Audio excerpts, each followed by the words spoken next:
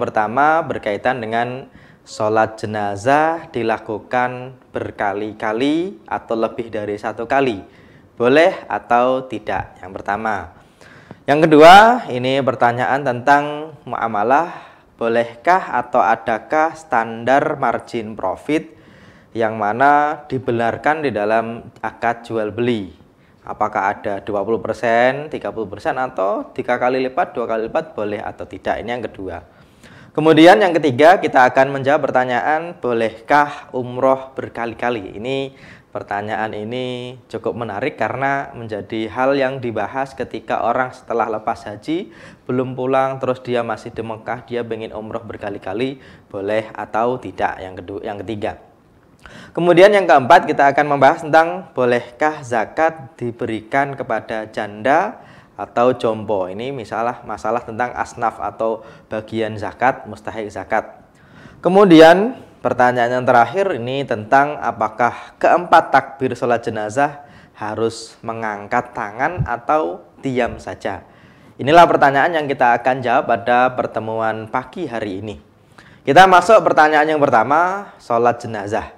Pak Ustadz, di tempat kami pernah terjadi sholat jenazah tidak hanya sekali, karena para peziarah datang sangat banyak. Apakah diperbolehkan dalam syariah? Sebelum menjawab pertanyaan ini, kita akan lihat sebenarnya ada dua bentuk kalau kita bicara mengenai mengulang sholat jenazah. Yang pertama adalah satu orang, dia sholatnya dua kali. Ada satu jenazah, dia sholatnya dua kali. Atau satu jenazah diulang-ulangi, tidak hanya cuma sekali jamaah, tapi beberapa kali. Yang pertama, seseorang mengulang-ulang sholat jenazah ini memang tidak disyariatkan.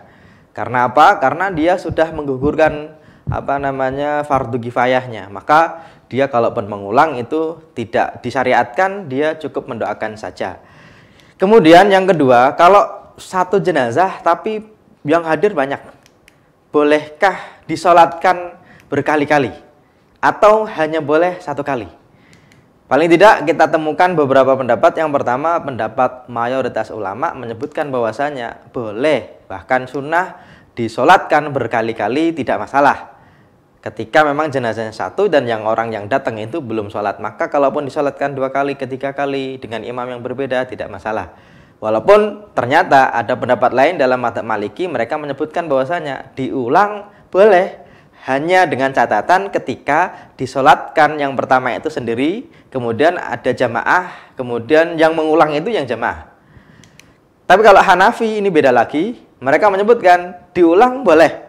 Hanya ketika disalatkan oleh orang yang pertama yang mana mereka tidak dapat izin dari walinya. Kemudian walinya itu datang atau ahli warisnya datang kemudian dia belum salatkan maka itu boleh diulang kalau kita bicara mengenai dalilnya ini yang apa namanya yang Hanafi ini tadi disebutkan memang apa namanya uh, di dalam kitab Bada'i Sonai mereka menyebut mereka menyebutkan wala yusalla ala mayyitin illa maratan wahidah la jamaah wala hudanan indana. Kata Hanafi kalau menurut kami nih ya, tidak disolatkan kecuali sekali, baik sendiri maupun bareng-bareng. Illa ayakun Allah disallu alaiha ajani buhri amril awliya. Kecuali yang mensolatkan itu orang lain tanpa izin wali. Ini dalam madhab Hanafi.